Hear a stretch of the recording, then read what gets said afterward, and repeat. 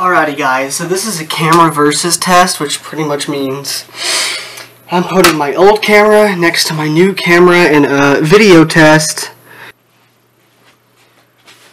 Hope you guys can see me okay. Um, I don't know how you, okay. So this is my new camera right here. EOS Canon Rebel T100. Pretty good camera. Uh, it's great.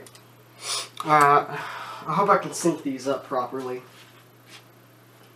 Even has a flip screen. Alright, oh, yeah, hold on. No, I did break this camera quite a bit. Well, not really.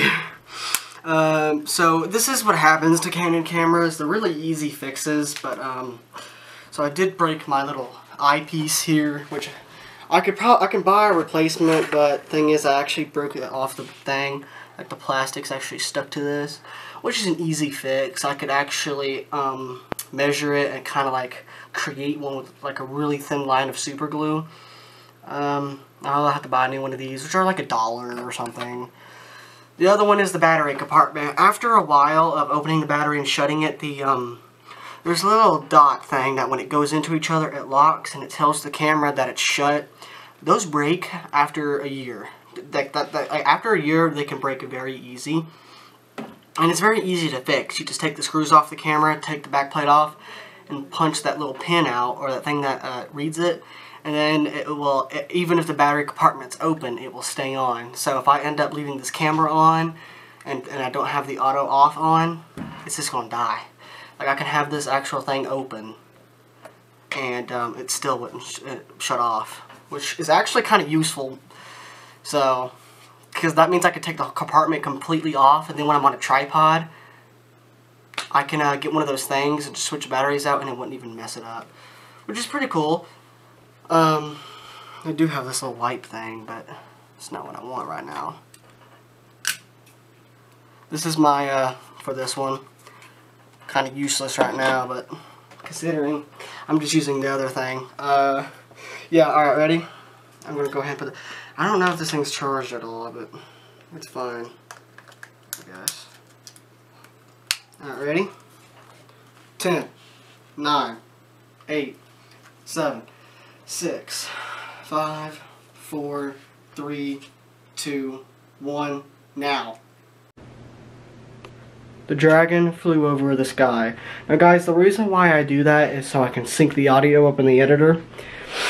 And uh, now you're hearing me and looking at me through my new camera. And this is with low lighting. The other one, uh, let me take this off of this so I can, you guys can see me even better.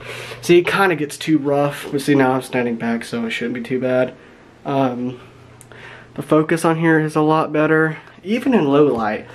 The stabilization's pretty good, except my hands are very shaky, so I do have to hold this with two cameras most of the time. Or two, two hands um, sometimes it is better if I hold it with hold it by the lens, which actually does help more on stabilization. Um, yeah, I hope that it's on medium, so hoping you guys can't hear it. Um, the audio on this one is totally better, like already.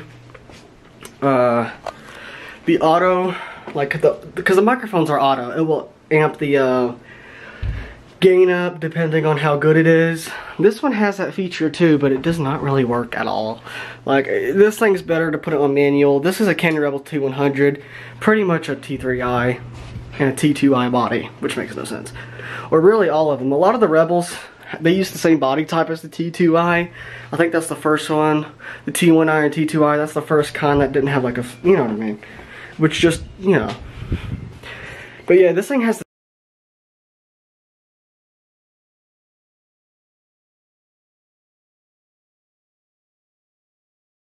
is pretty much uh, audio and video test of this. Now, it wouldn't be fair if they're both sitting, so I I'm going to go ahead and actually set this one down.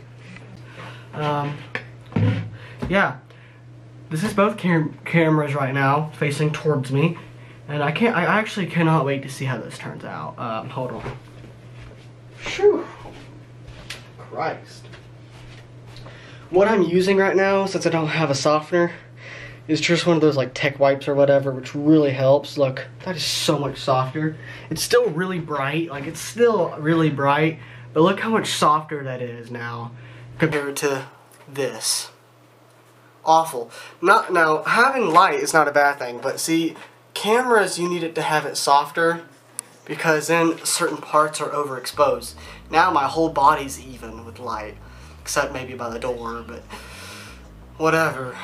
Um, what also messes me up is that these lights are orange instead of white. I need something, I think it's 5600K, I think that's blue. Hold on, let me look that up real quick. Um, yeah.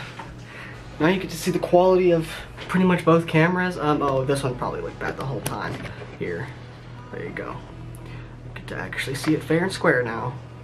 Uh, yeah, deuces.